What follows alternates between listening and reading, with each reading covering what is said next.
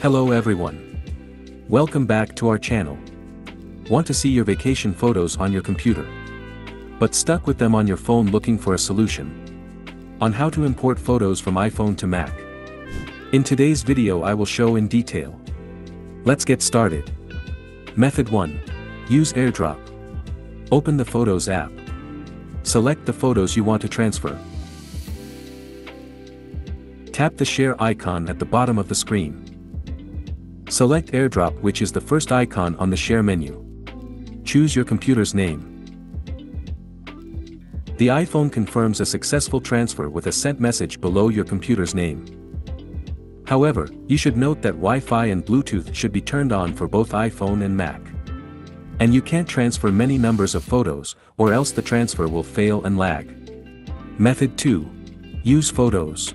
The Photos app on both your iPhone and Mac is the central location for all photos and videos. So you need to know how to use correctly. Connect the iPhone to your Mac with a USB cable. The iPhone will display a Trust This Computer notification. Tap Trust to continue. Unlock your iPhone. And open the Photos app. Select the iPhone name in the Photos sidebar. The Photos app on the Mac displays an import screen with all the photos and videos that are on your iPhone. Then you can click Import selected to transfer specific photos. Or click Import all new photos to transfer your entire camera roll. However you need to be aware that if this app will crash often. So sometimes it is not very stable. But it is an optional method. Method 3. Use iCloud Photos. Open Settings on your iPhone. Scroll down and tap on Photos. Toggle the switch for iCloud Photos to green if it's disabled. Launch the Photos app on your Mac. Open Photos on your Mac. Go to Photos Preferences from the menu. Click on the iCloud. Select the checkbox on iCloud Photos to enable it. Your iCloud Photos will then be downloaded in the Photos app. The advantage of using this method is the convenience of being able to automatically download and save the photos on your phone. But the disadvantage is that you need to have enough iCloud storage. Because Apple only provides 5 GB storage for free.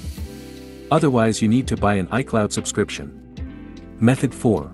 Transfer photo with iCareFone. So if you are looking for a more stable and effective solution, iCareFone may suit you. Download the software via the link in description below. Connect your iPhone to the Mac. And open iCareFone. Click Manage. Select all the photos in one click. Or you can select what you want to transfer. Then export. Choose the file location to save. Then the transfer process starts immediately. And your photos will be saved on your computer. Now. Let's check. Well done. You have successfully transferred. Using Tenorshare iCareFone is the new way to transfer all your datas to PC. It can transfer more than 100 gigabytes within 20 minutes to your iPhone.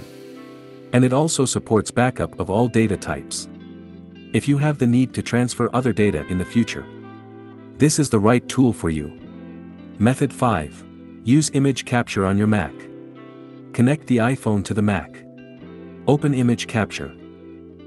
Select the device in the devices or shared list. Select the images you want to transfer. Open the import to pop-up menu at the bottom of the window. Then choose where to save the images. Then click download. Or you can click download all.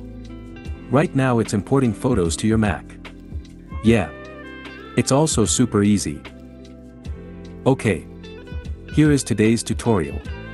Don't forget to give us a thumbs up if you like our videos. Stay tuned for our next video.